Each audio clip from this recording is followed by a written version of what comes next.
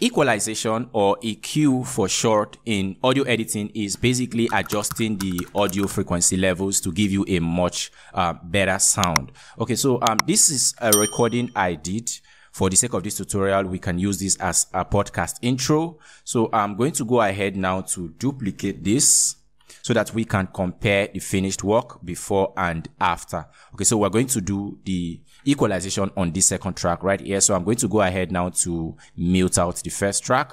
Awesome. Okay, so uh, um, you go to effects and then you pull out the um, filter curve EQ. Now let me just flatten this out. Okay, so you look at this line right here. I want to to boost out this this lower end of the spectrum. So I'm going to go to presets come down to factory presets and go to bass boost. Awesome. So you see the bass boost bass to 9 dB. Uh, I might want to take it up to 12 dB and then you apply. Okay.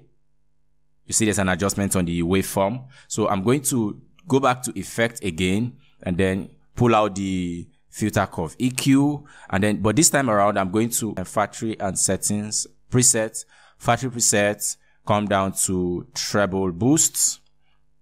Now I'm going to move this treble boost. Now 9 dB is kind of high, so I'm going to move it down to somewhere below 6.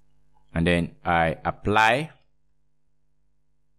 Awesome. Now, why I didn't go as high as 9 dB is that it's going to amplify the P's and the S sounds. Those plosive sounds is going to kind of um, mess the the recording up. So that's it. So let's have a listen. What's up guys? You're welcome to my YouTube channel Audacity Audio Pro where we talk about all things audio editing using Audacity. Now let's listen to it before we added the effect. What's up guys? You're welcome to my YouTube channel Audacity Audio Pro. Now let's listen to it. Let's listen to what it sounds like after the effect. What's up guys? You're welcome to my YouTube channel Audacity Audio Pro. Mm, let me go ahead now. We listen to both of them. What's up guys? You're welcome to my YouTube channel Audacity Audio Pro where we talk about all things audio editing using Audacity. Awesome. So that's it. That's how you do a basic EQ right here in Audacity. Don't forget to subscribe if you haven't already done so, so that YouTube notifies you whenever I upload new video content. And I'll see you in the next one. Cheers. Audacity Audio Audacity Audio Pro.